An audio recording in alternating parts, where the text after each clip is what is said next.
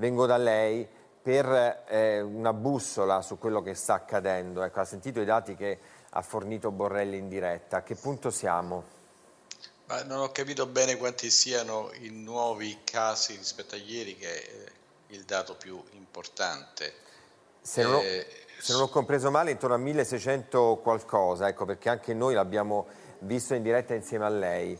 Vediamo se Ilenia Petacalvina ce lo può dire in diretta. Sembrerebbero meno di ieri, ma vorrei una conferma. Ecco, sì, Ilenia Petacalvina, sì, vengo da te per una conferma dei dati perché abbiamo avuto appunto eh, allora, per quanto riguarda gli attualmente gli attualmente positivi, quindi ricoverati in eh, terapia intensiva e osservati speciali sono 1615, sì. cresciuti rispetto alla giornata di ieri. I guariti rispetto a ieri sono cresciuti di 1974, quindi un dato che cresce. Purtroppo i deceduti c'è sempre una crescita di 575 persone rispetto alle 24 ore fa.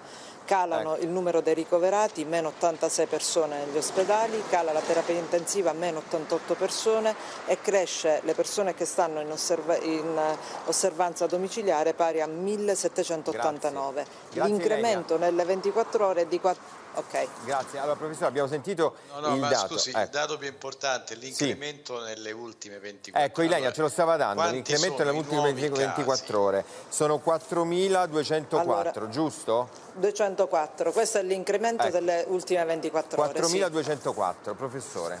Allora, è difficile con questa altalena di dati quotidiani eh, capire dove stiamo andando. Perché? perché apparentemente siamo oltre i nuovi 4.000 casi, quindi una sostanziale stabilizzazione da quello eh. che mi sembra di capire.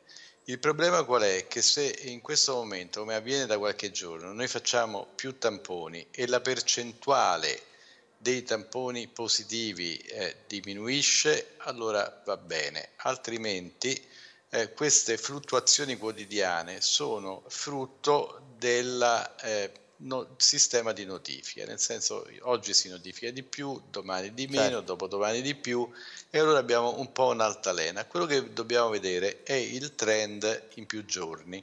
Ecco. E questo trend sembra mostrarci una stabilizzazione o una lieve eh, discesa nel numero di nuovi casi, il che può andare bene abbiamo una minor pressione sugli ospedali, questo va bene, abbiamo una minor pressione sulle terapie intensive e questo è un dato positivo.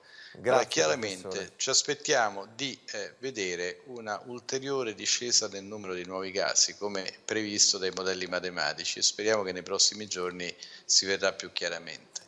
Grazie davvero professor Rezza per questa sua analisi, ringrazio anche Giovanna Botteri e Elena Petacalbina, allora la vengo da te. Sì, grazie Alberto. Noi eravamo in collegamento con Lamporecchio in provincia